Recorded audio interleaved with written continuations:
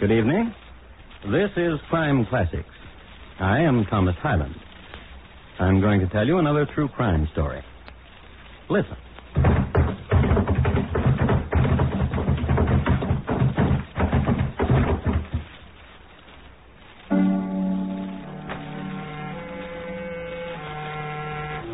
The man who just fell down the stairs is Colonel James Fisk, Jr.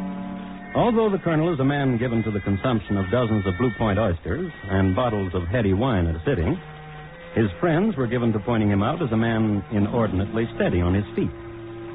So why did he tumble down the stairs? And in New York's Grand Central Hotel, no less, where stair tumbling was frowned upon. The colonel didn't slip. He wasn't pushed. He was shot. The sudden presence of two bullets in him had upset his equilibrium. The man who's running away is the man who just shot the colonel. His name, Edward S. Stokes. Until recently, the colonel's very dear friend. There he goes. And tonight, my report to you on the checkered life and sudden death of Colonel James Fisk, Jr. Crime Classics. A series of true crime stories taken from the records and newspapers of every land, from every time. Your host each week, Mr. Thomas Hyland, connoisseur of crime, student of violence, and teller of murders. And now, once again, Thomas Hyland.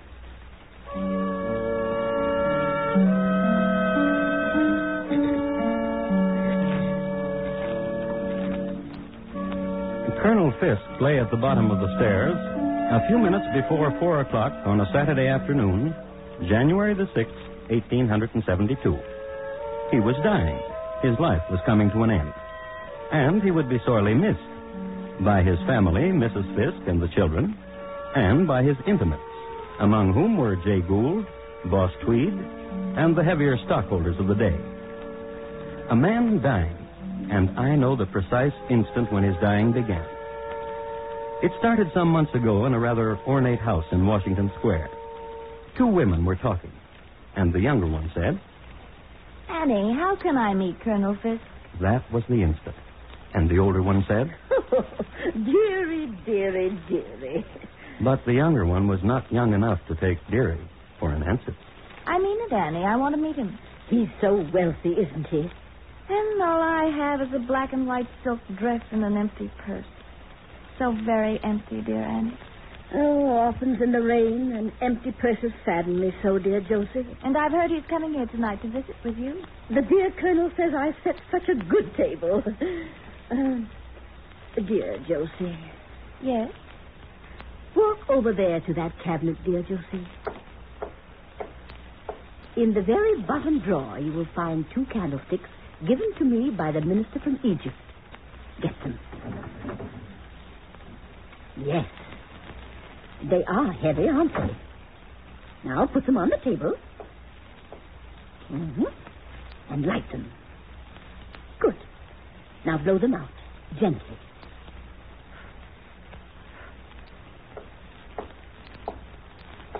Well, Annie? Dear Josie, will you join the dear Colonel and me for dinner tonight? So nice of you to ask. I'd be delighted, dear Annie.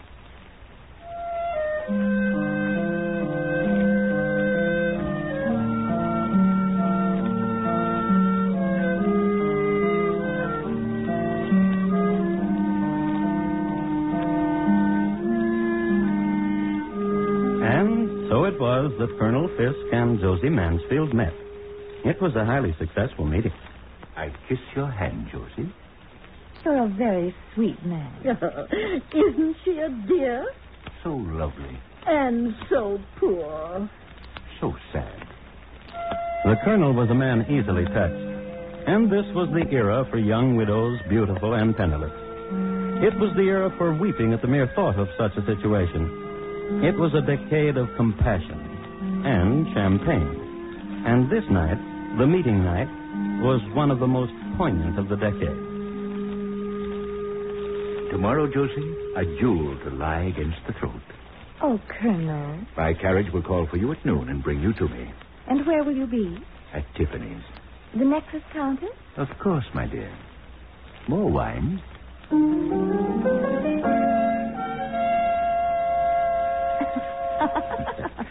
Diamonds become you. Oh, Colonel. Oh, Colonel.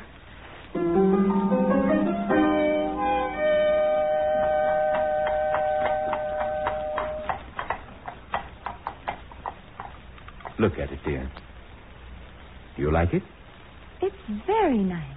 And it's all yours. Oh, thank you. I've always wanted a home of my own. And servants of my own. Six? Kiss me, Colonel.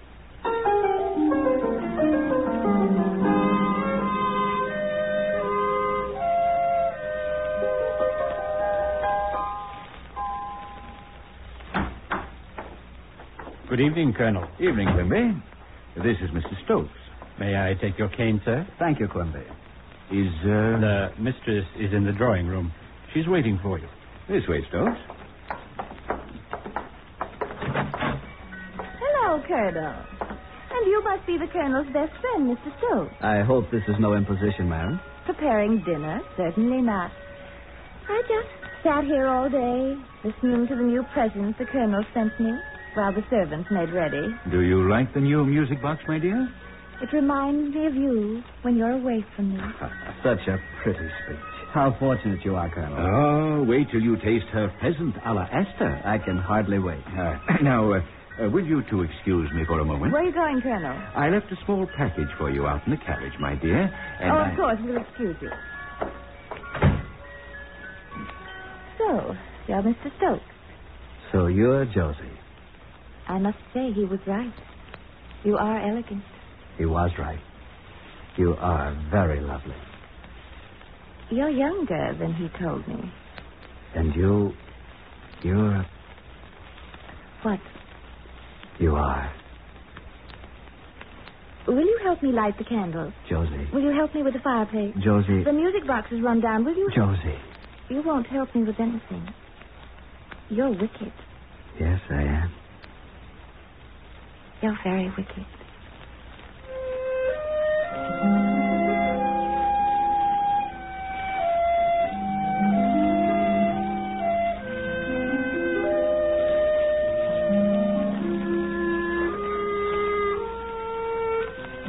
The time Josie whispered this tender criticism, Mr. Edward Stokes was five feet nine inches high. His head was covered with glossy curls, his complexion clear, his features regular, and his eyes dark blue. He was dressed in the height of fashion, and his diamond studs gleamed brilliantly. And after the colonel returned with a forgotten package, Oh, a ruby pendant. Thank you, Colonel. You're very welcome. And after the wine was drunk and venison devoured, and the fingers dipped in the lemon water, after that evening of old friends and new, after that, there was a new day. And there was this. Good morning, Mr. Stokes. Good morning, Quimby. Is, um. The mistress is in the sitting room. She's waiting for you. Thank you, my man. Josie. Edward. Oh, wait, Edward. I was out this morning early shopping. Here, I bought something for you. Open it. Josie. A pearl stick pin. There was no need for you to. Oh, yes, there was. Now be quiet.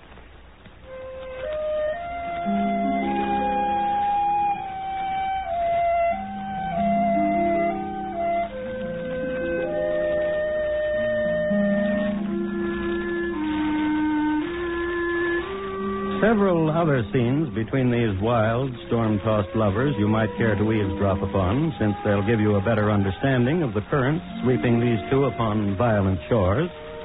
Like this one.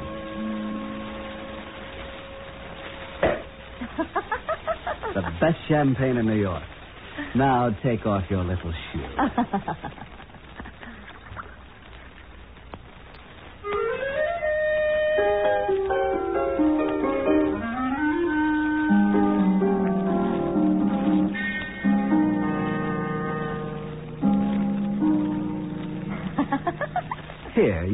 Hi, Mallet, dear. this croquet has brought the pink to your cheeks. Make your shot.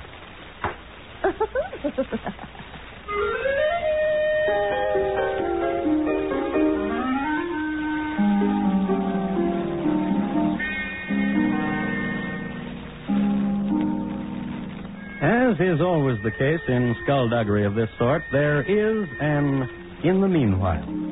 So, in the meanwhile, in the Park Avenue home of Colonel James Fisk, Jr., the Colonel and his lady. The children have been tucked away for the night, the servants snug in their quarters, as were the animals.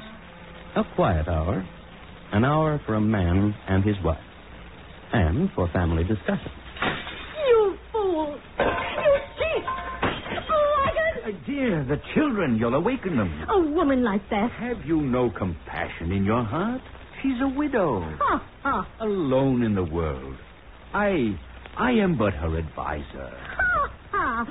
Now that's all you are. What are you talking about? What all of New York is saying. And that is? Ha ha! And that is? The most concerned is the last to know. Know what? Your precious widow and Edward Stokes. What? Ha ha, Colonel. Now you know what I've been through. The aggravation, the shame, the heartache, the sorrow, the unrequited love.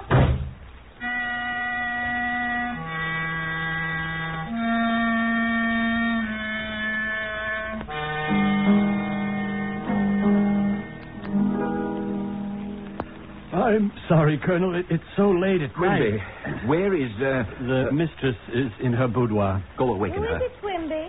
It's not Mr. Stokes, ma'am. Well, well, good evening, Colonel. What's this I hear about you and that... that scamp, Edward Stokes? Why, what have you heard? That you and he, Who told you that? my wife, You'd better go back to her, Colonel. then it's true. I love him very much. Josie, Go back to your wife. I warn you. You warn me. You, Colonel? Listen to me. I'll ruin you. Please. Go home. You and Edward Stokes. Mark my word. I'll ruin the both of you. My promise to you, if it takes the rest of my life.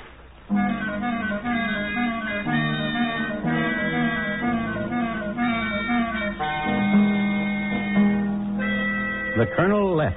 The colonel was driven to his club where the colonel spent the night. And the next morning, early, the colonel began the final week of his life.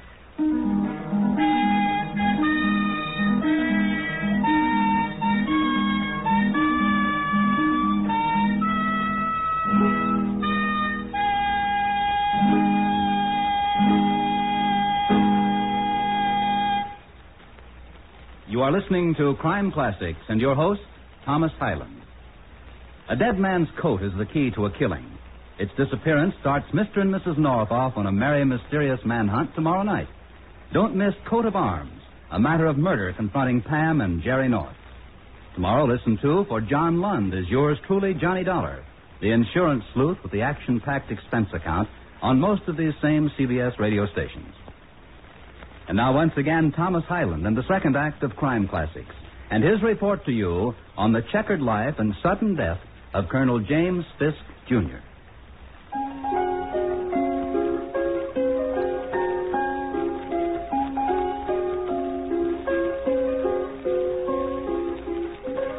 I'd like to set the coordinates for you again. Take a reading of exactly where we are in time and space. The year is 1872. The place is New York City. Now, 1872 was a vintage year for pearls in the bottom of champagne glasses, of fatted railroad stocks, and the diamond harvest was spectacular. The term rags to riches was coined on a day in this year when a raggedy sewing machine girl was summoned from her chores, taken by the hand, dressed in silk, then released into a gilded cage. New York City at this time was a center for many similar dramas, one of which we're concerning ourselves with. Colonel James Fisk, Jr. had compassion for a widow named Josie Mansfield. Josie Mansfield had compassion for the colonel's friend, Edward Stokes. The colonel, upon hearing of this arrangement, immediately went into action in a colonel-like manner. Your Honor, I want to swear out a warrant for the arrest of Edward S. Stokes for embezzlement. Why, certainly, Colonel. We'll have the culprit in jail in no time at all.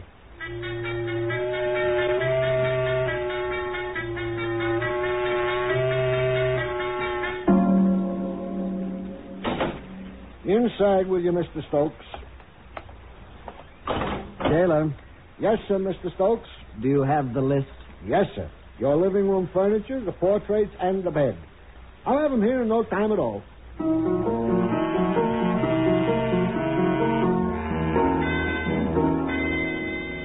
Edward Stokes was a model prisoner for two days. He was then released when the charge against him was dropped. Not to be outdone, he went into action in a manner which gained the plaudits of his cronies. Your Honor, I want to swear out a warrant for the arrest of Colonel James Fisk, Jr. for false imprisonment. Why, certainly, Mr. Stokes. We'll have the culprit in jail in no time at all.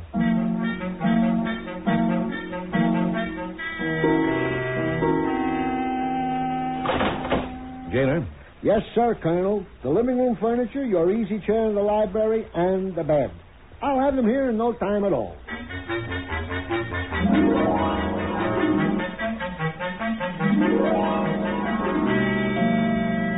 War of nerves, tactics, and strategies, and reprisals.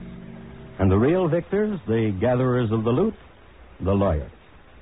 So the colonel and Mr. Stokes called a truce, waved white napkins at each other across a gleaming table at Delmonico's. Stokes, I think we both acted like children. I agree with you, Colonel. Let me fill your glass. Yeah. A toast. To a friendship. Our friendship, Colonel. Enough of jails and lawyers and arguments. Life is too short. I'll drink to that, too. Colonel, And we can settle our affairs like men. I'll drink to that, Uh, no, wait. Let's settle our affairs first. Delighted. There is only one thing which stands in our way. Obviously. Josie Mansfield. You're right. Stokes, you're not ever to see her again. Colonel, You agree? Colonel, you're a fat, stupid fool. I accept that. But you're never to see Josie Mansfield again. Josie told me that if I saw you, I was to tell you you are a fat, stupid fool. And you are. I warned you once, Stokes. I'm not going to warn you again. Then I'll warn you, if you make any trouble, Colonel, you won't live to enjoy it. My promise to you.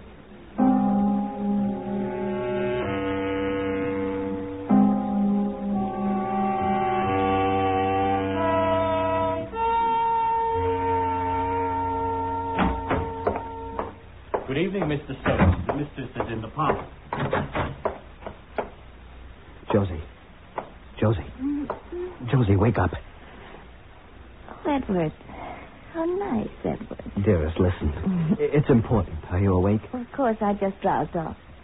I was reading, waiting for you, and now you're here. Josie, listen. It's about Colonel Fisk. Oh, please don't talk about him. Not now. He's ruined me. What are you talking about? I'm a pauper. you? Why, you're one of the wealthiest young men No, in no, world. not now. I don't have a penny. What happened? The stocks I had, all my assets. Well, The colonel forced down the value of the Erie Railroad stocks, wiped me out. oh, Edward, I'm so sorry. Josie, Yes. I'm poor now. Do you want me to leave? Never come back? Darling Edward. Darling, dearest Edward. Josie, We'll beat him. We'll destroy the colonel, you and I together. that's impossible. He's too powerful. He's a weakling. What? I can prove he's a weakling. He writes letters. Letters? I saved them. And that's not all. What do you mean? Dealings he's had. Dishonest business dealings. Would you like to look at them? Dearest Josie, I love you so much.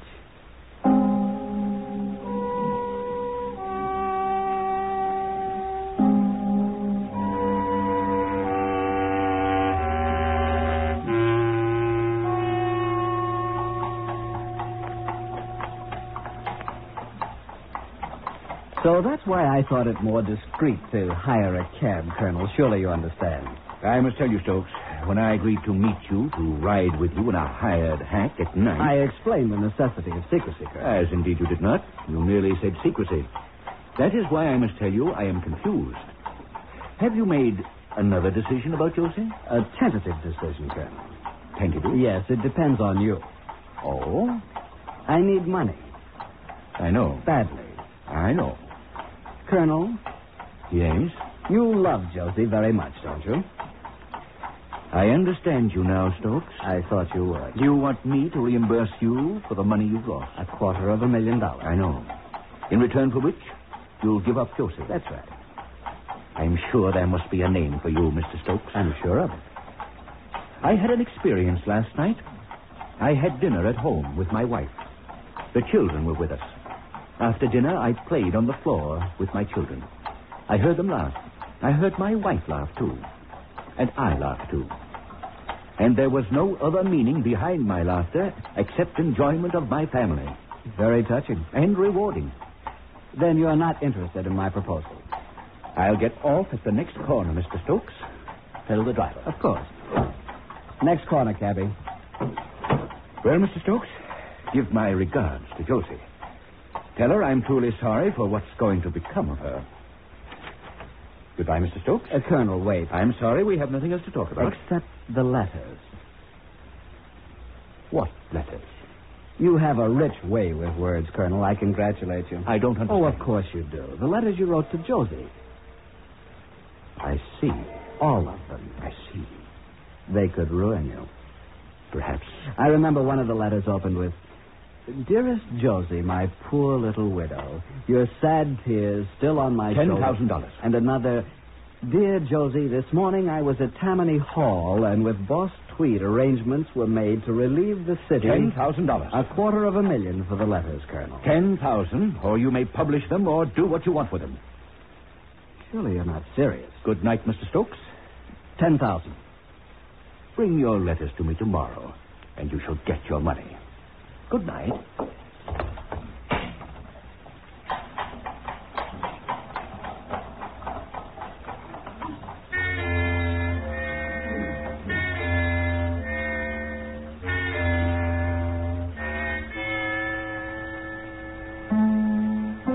An old almanac I have occasion to call on now and then says that Saturday, the 6th of January, in the year 1872, is the 66th anniversary of the Volunteer Fire Department of Roanoke, Virginia. Also, it predicts the day will be cold and clear with high westerly winds. So, we'll make an assumption. On a cold, clear Saturday morning, buffeted by the high westerly winds, Mr. Edward Stokes made his way to the Wall Street office of Colonel Fisk. Here he received more coldness and $10,000. Here he deposited with the colonel a stack of letters wrapped in blue ribbon and sachet. Then Edward Stokes called on Josie Mansfield. He told her of the transaction. We must imagine that Josie's reaction went something like this. You idiot! You bumbling, spineless idiot! But Josie. I should have known better than to trust you with those letters. But ten thousand dollars is better than nothing. If you'd had the courage, You told me ten thousand or nothing. if you'd had the courage, he would have given you everything he owned. Why, the mere possession of the letter dated June 16th, 1871, would have been a fortune ten times the amount you got. But But what? you have your jewels, this house. Surely you must be worth nearly a million yourself. I love you, dear Edward, but that's my money. You'll just have. What is it, Quimby? Uh, Miss Annie Wood wishes to speak with you. Tell her I'm busy. She said it's extremely urgent. Extremely urgent. Hello, Annie. Josie, dear Josie, and dear Mrs. Stokes. Hello. The judge came to see me for lunch a little while ago. Judge. What are you talking about? Uh, Judge Strickler. Well, I don't see. He just come from court. He just signed a warrant Yes. for the arrest of dear Mr. Stokes on the charge of blackmail. Colonel Fisk. Yes, the dear judge told me that the colonel asked him to sign such a warrant. Uh, Josie, Yes. we'll be seeing each other more often, won't we, dear Josie?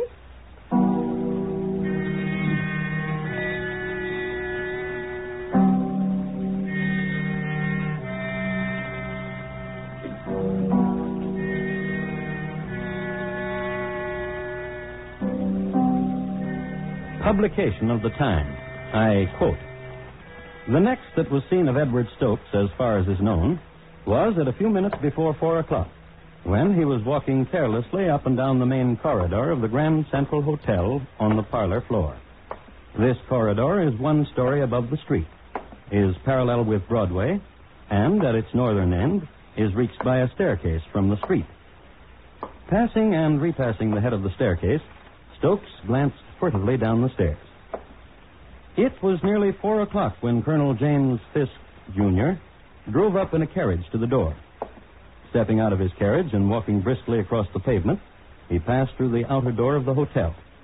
When he had done so, he was heard to inquire for a certain Annette Latour. He was told she was in and started up the stairs.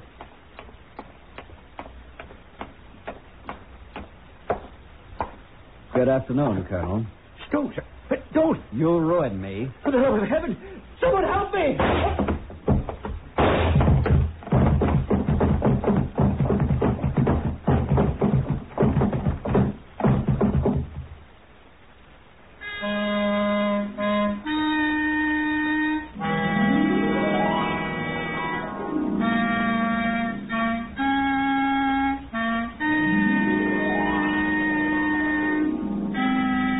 Stokes was restrained a block away.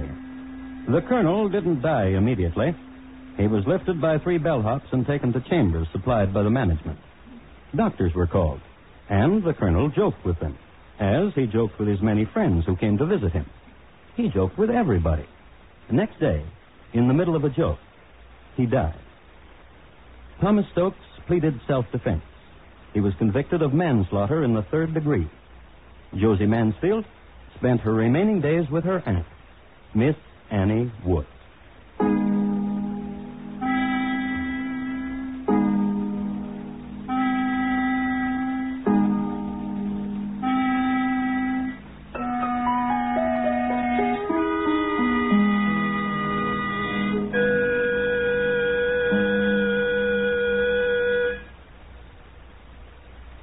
Just a moment, Thomas Hyland will tell you about next week's crime classics. This Wednesday night, screen hero Jeff Chandler plays a young man hired for an important job. A job of guarding the very much alive body of a notorious gangster.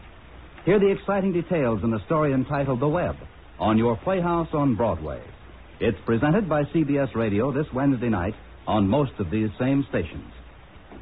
And here again is Thomas Hyland. Next week, Long Melford in the county of Suffolk in England. The year, 1739. My report to you will be on the shrapnel body of Charles Drew Sr. Thank you. Good night.